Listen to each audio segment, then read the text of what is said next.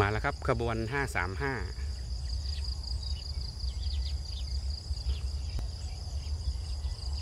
ผ่านตรงที่ผมถ่ายนี่ตีห้าห้าสิบหกนาทีนะครับ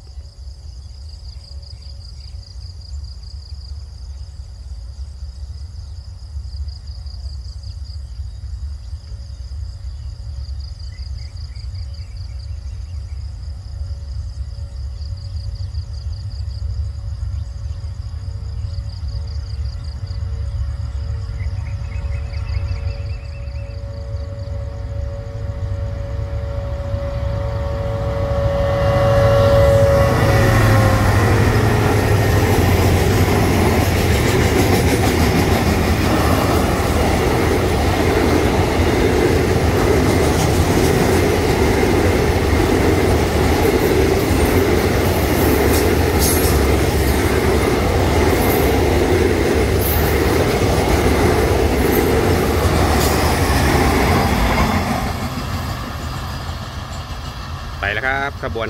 535ลิ้วยาวมากเลยนะครับขบวน 535